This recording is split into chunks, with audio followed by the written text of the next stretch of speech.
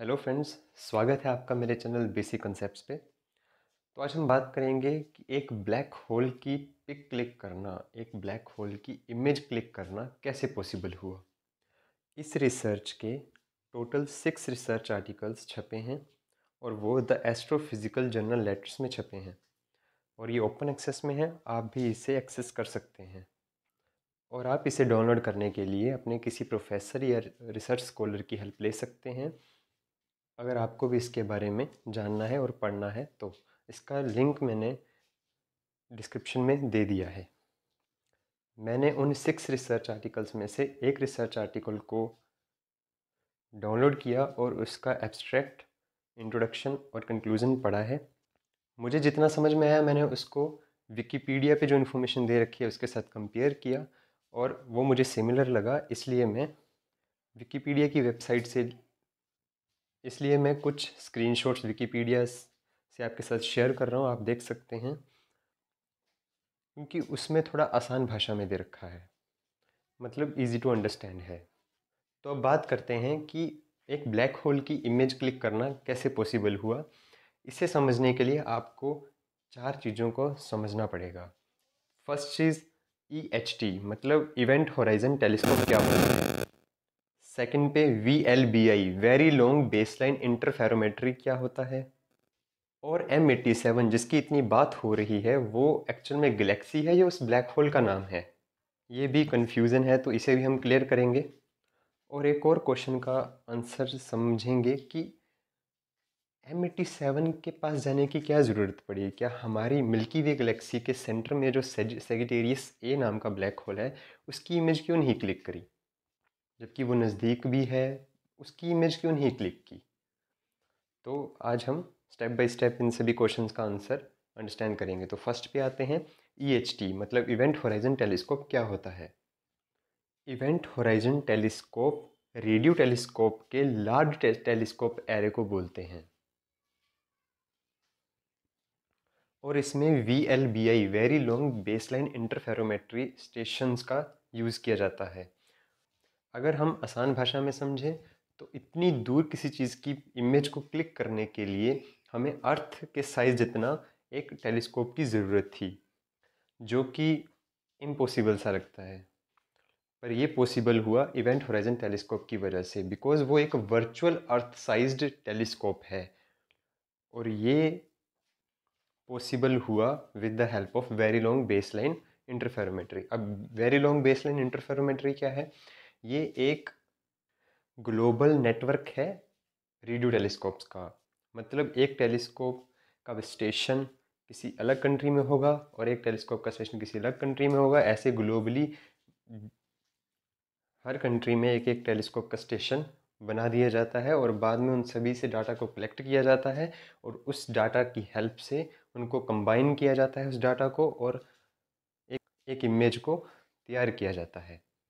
तो कुछ ऐसा ही मेथड यूज़ किया है इस ब्लैक होल की इमेज को क्लिक करने के लिए। और ये इवेंट होराइजन टेलीस्कोप जो है वो इंटरनेशनल कोलैबोरेशन प्रोजेक्ट है, जिसकी हेल्प से ही हमें एक ब्लैक होल की इमेज देखने को मिली। ये सुनने में जितना आसान लग रहा है उतना है नहीं, इसके पीछे बहुत सालों की मेहनत लगी है। और total six research articles publish हुए हैं तो खुद सोचिए कितना बड़ा ये प्रोजेक्ट था। और ये आर्टिकल फाइनली 10 अप्रैल 2019 को पब्लिश हुआ था। अब बात करते हैं थर्ड क्वेश्चन की, कि एम एटी सेवन गलेक्सी है या ब्लैक होल है? तो एम एटी सेवन एक्चुअल में ये एक सुपर जाइंट एलिप्टिकल गैलेक्सी है, जो कि विर्गो कॉन्स्टलेशन में है। और इसको Virgo A N G C four four eight six के नाम से भी जाना जाता है। इसके कोर से एक एनर्जेटिक प्लाज्मा निकलता है, जो जिसकी अगर हम डिस्टेंस की बात करें तो वो four thousand nine hundred light years तक ये फैला हुआ है। तो खुद सोचिए कितनी बड़ी गैलेक्सी है। और ये गैलेक्सी अर्थ से fifty three million light years दूर है। और इस गैलेक्सी के सेंटर में ब्लैक होल है, जिसका नाम है एम एट्टी सेवन और साथ में छोटा सा स्टार मतलब एम एटी सेवन का वैसे मतलब है मेशियर एटी सेवन ये एक फ्रेंच एस्ट्रोनॉमर थे जिनका नाम था चार्ल्स मेशियर उन्होंने इस गैलेक्सी को 1781 में ही डिस्कवर किया था और उन्होंने इसे नेब्यूला एम एटी सेवन का नाम दिया था और इसका जो मास है वो 200 टाइम्स ज़्यादा है मतलब 200 गुना ज़्यादा है मिल्की वे गलेक्सी से। मतलब 2.4 plus minus zero point six into ten is twelve times the mass of sun है। मतलब सन से इतना ज़्यादा है। तो ये था कि ये एम एटी सेवन गलेक्सी का नाम है और जो ब्लैक होल है उसके सेंटर में उसका नाम है एम एटी सेवन के साथ छोटा सा स्टार जैसे सेजिटेरियस ए के साथ स्टार लगता है जो कि हमारी मिल्की वे गलेक्सी के सेंटर में है ब्लैक होल तो फोर्थ क्वेश्चन की तरफ़ बढ़ते हैं कि एम एटी सेवन को ही क्यों चुना गया? सेजिटेरियस ए को क्यों नहीं? इसका आंसर एक इंटरव्यू में इस प्रोजेक्ट के डायरेक्टर ने दिया था। बट एक्चुअल में सेजिटेरियस ए जो है, वो नज़दीक है as compare to M eighty seven और ये जो ब्लैक होल है, ये स्पिन करते हैं मतलब मूव करते हैं वाइब्रेट करते हैं एक तरह से। तो जब इतनी ज़्यादा वाइब्रेशन होगी तो उस चीज़ को स्टडी करना थोड़ा डिफ़िकल्ट हो जाता है। अगर कोई चीज़ मोशन में है और एक चीज़ स्टेबल है तो मोशन वाले में जो चीज़ है, उस पर स्टडी करना थोड़ा डिफ़िकल्ट हो जाता है और जो स्टेबल है, हम उस पर ईज़िली स्टडी कर सकते हैं। इसका मतलब ये नहीं जो एम एटी सेवन का जो ब्लैक होल है, वो भी, वो स्टेबल है, वो स्पिन नहीं करता, वो भी स्पिन करता है, बट डिस्टेंस ज़्यादा होने की वजह से उसकी स्पिनिंग बहुत कम शो होती है। तो ये रीज़न था कि एम एटी सेवन की तरफ़ ही क्यों गए। वो गलेक्सी मास में बहुत ज़्यादा है, बहुत बड़ी गलेक्सी है। ये भी एक रीज़न है कि उसे चूज़ किया गया। एक रीज़न और है कि उस ब्लैक होल का मास भी बहुत ज़्यादा है as compare to Sagittarius A तो ये कुछ रीज़न थे, जिस वजह से एम एटी सेवन को ही चूज़ किया गया इस इमेज के लिए।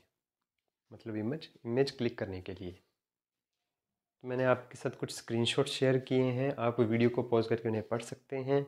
मैंने डिस्क्रिप्शन में लिंक दे दिया है गूगल स्कॉलर का भी, जहाँ पे आपको वो रिसर्च आर्टिकल मिल जाएगा। और सेकंड विकिपीडिया का भी। तो इसी के साथ हम वीडियो को ख़त्म करते हैं। अगर आपका कोई डाउट हो तो आप मुझे कमेंट सेक्शन में कमेंट करके बताइए। मैं क्लियर कर दूँगा। और अगर आपको ये वीडियो पसंद आया हो तो इसे लाइक करें शेयर करें और चैनल को सब्सक्राइब करें ऐसी और वीडियोज़ के लिए। Thank you